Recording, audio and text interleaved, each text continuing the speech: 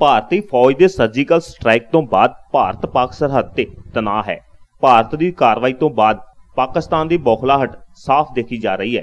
ਇਸ ਦੌਰਾਨ ਸ਼ਨੀਵਾਰ ਰਾਤ ਪੰਜਾਬ ਦੇ ਪਠਾਨਕੋਟ ਨਾਲ ਲੱਗਦੇ ਬਮਿਆਲ ਸੈਕਟਰ ਵਿੱਚ ਇੱਕ ਚੌਕੀਦਾਰ ਦੇ ਘਰ ਦੇ ਬਾਹਰੋਂ ਦੋ ਪੀਲੇ ਰੰਗ ਦੇ ਗੁਬਾਰੇ ਬਰਾਮਦ ਹੋਏ ਹਨ। ਇਹਨਾਂ ਗੁਬਾਰਿਆਂ ਦੇ ਨਾਲ ਇੱਕ ਚਿੱਠੀ ਵੀ ਮਿਲੀ ਹੈ।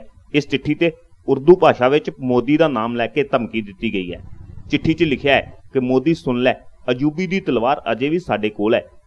ਮੋਦੀ ਸਰਕਾਰ ਜੰਗ ਨਹੀਂ ਲੜ ਸਕਦੀ। ਇਸ ਚਿੱਠੀ ਦੇ ਹੇਠਾਂ ਪਾਕਿਸਤਾਨੀ ਆਵਾਮ ਲਿਖਿਆ ਗਿਆ ਹੈ। ਜ਼ਿਕਰਯੋਗ ਹੈ ਕਿ ਪਠਾਨਕੋਟ ਉਹੀ ਇਲਾਕਾ ਹੈ, ਜਿੱਥੇ ਪਾਕਿਸਤਾਨ ਵੱਲੋਂ ਦੋ ਵੱਡੇ ਅੱਤਵਾਦੀ ਹਮਲਿਆਂ ਨੂੰ ਅੰਜਾਮ ਦਿੱਤਾ ਜਾ ਚੁੱਕਾ ਹੈ। ਫਿਲਹਾਲ ਪੁਲਿਸ ਨੇ ਗੁਬਾਰਿਆਂ ਨੂੰ ਜ਼ਬਤ ਕਰ ਜਾਂਚ ਲਈ ਭੇਜ ਦਿੱਤਾ ਹੈ ਅਤੇ ਇਸ ਦੇ ਨਾਲ ਹੀ ਸੁਰੱਖਿਆ ਏਜੰਸੀਆਂ ਨੂੰ ਵੀ ਸੂਚਿਤ ਕਰ ਦਿੱਤਾ ਹੈ।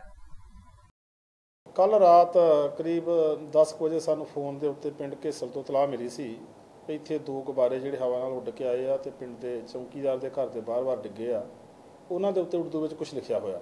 ਇੰਜ ਲੱਗਦਾ ਜਿਵੇਂ ਉਹ ਪਾਕਿਸਤਾਨ ਤੋਂ ਆਏ ਹੋਣ।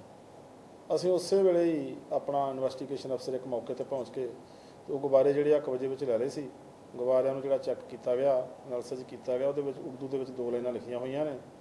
ਉਰਦੂ ਅਸੀਂ ਤੇ ਜਾਣਦੇ ਨਹੀਂ, ਉਹ ਕਿਸੇ ਕੋਲੋਂ ਪੜਾਇਆ ਗਿਆ, ਜਿਹਨੇ ਦੱਸਿਆ ਕਿ ਇਹਦੇ ਉੱਤੇ ਲਿਖਿਆ ਹੋਇਆ ਕਿ ਮੋਦੀ ਜੀ ਸੁਣ ਲੈ ਅਯੂਬੀ ਕੀ ਤਲਵਾरें ਅਭੀ ਹਮਾਰੇ ਪਾਸ ਹੈ, ਇਸਲਾਮ ਜਿੰਦਾਬਾਦ।